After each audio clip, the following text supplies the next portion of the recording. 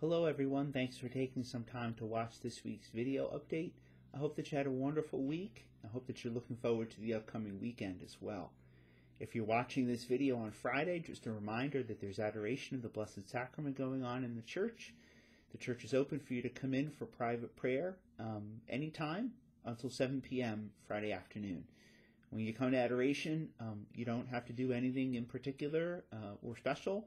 Uh, it's just time to sit and pray or uh, sit and be in the presence of the Lord in the Blessed Sacrament. If you'd like to say the Rosary or read the Bible, or you're certainly welcome to, you're certainly welcome there to sit and just spend time and speak to the Lord. You can stay for however long you're able five minutes, ten minutes, half hour, whatever you'd like. This weekend is certainly a very big weekend on our church calendar. It's Pentecost Sunday. It is the conclusion or the culmination of the Easter season. It celebrates the day when the Holy Spirit came upon the apostles gathered together in prayer with the Blessed Virgin Mary in the upper room. And from that upper room, they went out to preach the good news to all the world. And that mission continues uh, in our own time with the church's call in every place and age to make known the good news of Jesus, and, and that mission is the same.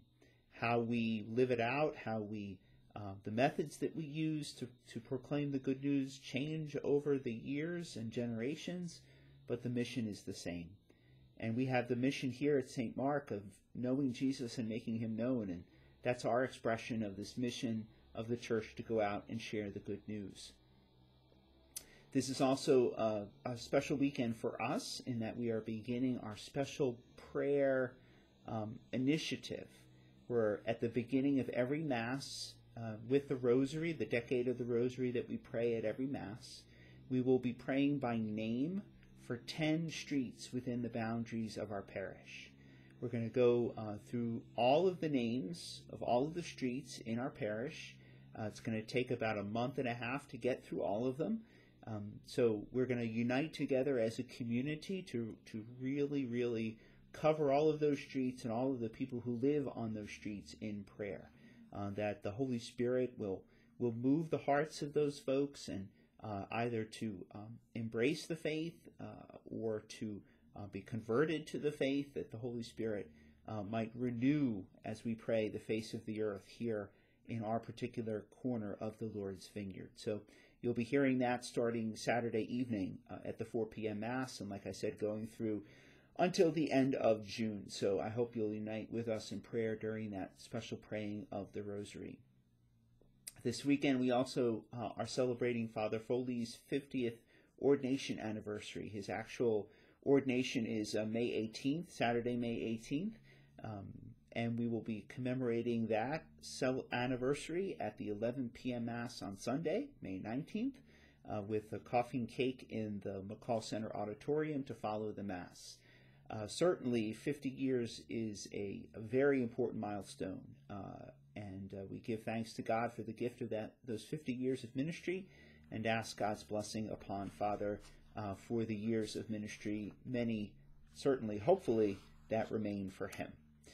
Uh, and then just to mention, uh, June 2nd, we celebrate the Feast of Corpus Christi, or the Solemnity of the Most Holy Body and Blood of Christ.